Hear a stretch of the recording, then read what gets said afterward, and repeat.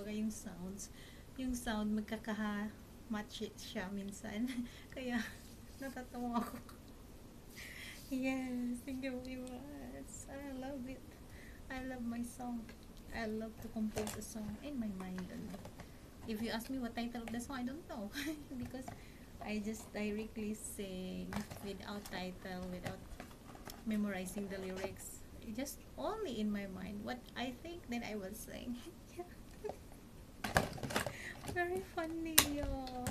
Before guys, I'm not like this. But uh, uh, as I said before, in Smule, I joined a contest which is I win because I make uh, uh, own version of the song. That's why. That's why I discovered my uh, creative mind that time because when I sing that song, that my own lyrics is I never also memorize. I just in my mind only, guys. So I win that uh, contest last year. Yes, I'm putting my cream, my foot cream. Last night I never put my cream. I never put lotion. I don't know, guys.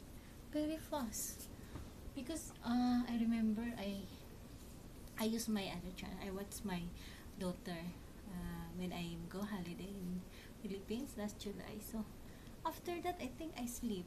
Yeah, I wake up morning. Oh, all my subscribers out there. Thank you very much, especially my BBK. Thank you, and my Angelic Bautista. Thank you, na. Too sticky, guys, but it's very effective. I will wear my socks.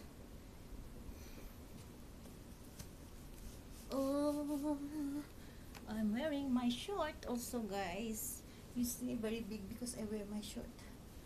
Yes, my darling. I now my night routine alone and with you all. Nag-umpisa na naman si Lola. Marang baliw. Marang baliw ba guys na kumakanta na hindi alam kung anong title. Bye! Thank you for watching.